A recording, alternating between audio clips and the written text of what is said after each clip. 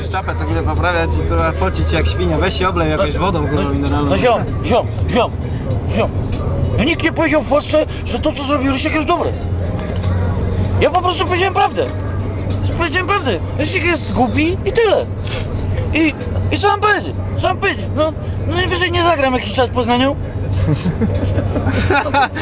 Rosia, lekka. Najwyżej mnie wpierdoli. A to jest gorąco strasznie. Najwyżej mnie wpierdoli. Eee, do kolegów Ryśka zadzwonię. Bo, bo, bo mam kolegów, którzy znają Ryśka i Ryśka kolegów, którzy, znają Ryśka. Ja generalnie już tam chcieli, już tam chcieli po niego jechać, nie? Tam, tam chcieli po niego jechać. Strasznie gorąco. Strasznie gorąco macie. Już tam chcieli, ja, się musieli już po niego pojechać. Już nawet mamie się pytałem, co mają jechać. Ej, wiesz, kurwa, Bele, y, myślę, że, że to nie jest jeszcze dobry moment, żeby, żeby po, ry- po Rychka pojechali. Ja, teraz nagrałem cały LP y, i, i generalnie walczę o honor. Walczę o honor.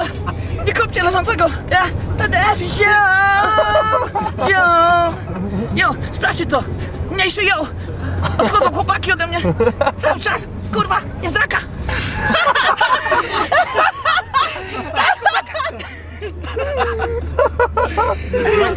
draka. Obstaw Gajora.